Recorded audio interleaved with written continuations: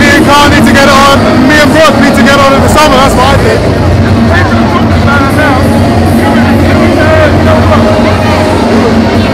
That's massive British boxing fight. And he wants it. And he's proved tonight that he can do it. I gotta give the guy credit. I wasn't expecting it to be that dominant.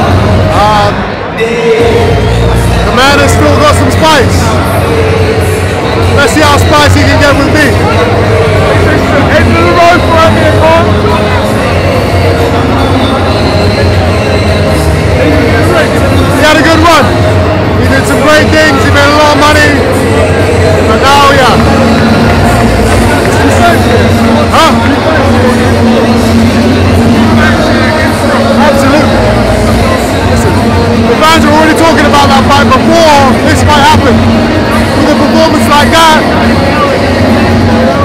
Makes the fight credible.